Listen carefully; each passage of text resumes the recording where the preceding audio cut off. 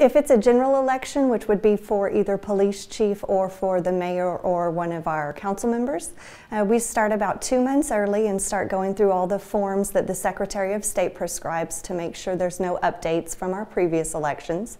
And we just kind of put together a packet and get that out on the website so that anyone who's interested in applying has ample opportunity to see the forms even before we call the election.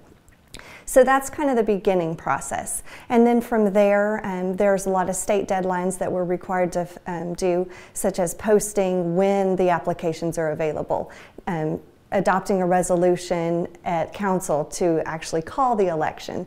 And then, of course, um, letting folks come in. There's usually about a month period of time where someone can come in and fill out an application to register for their place on the ballot. And so, for that, um, after we receive those applications, we wait to see if there's multiple candidates. If so, next step is to draw for a place on the ballot.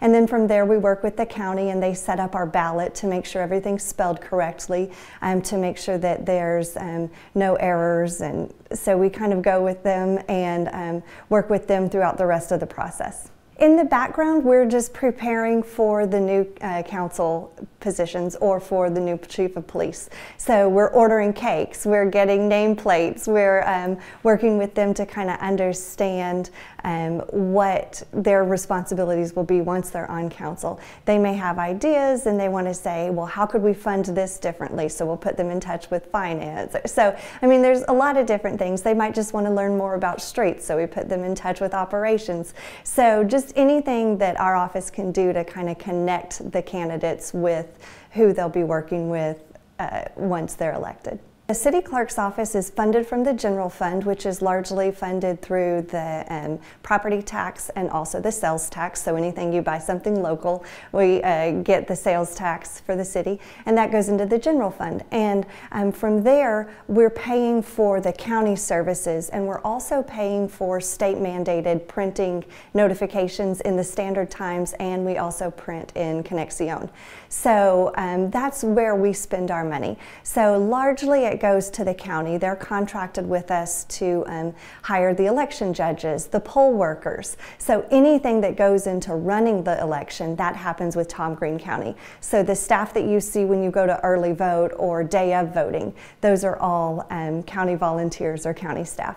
The cost of the election varies greatly. It depends how many people are having an election at the same time. So if there's multiple school districts, um, or if the county is going to do something or the state.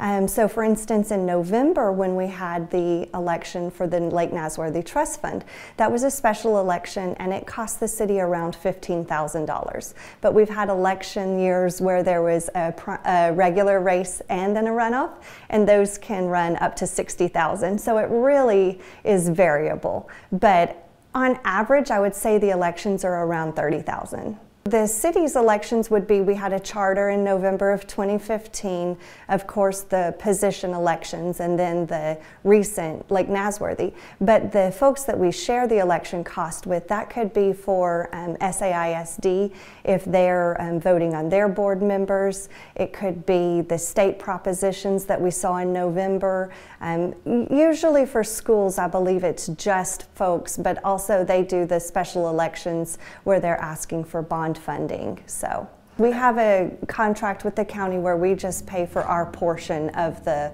work and the time.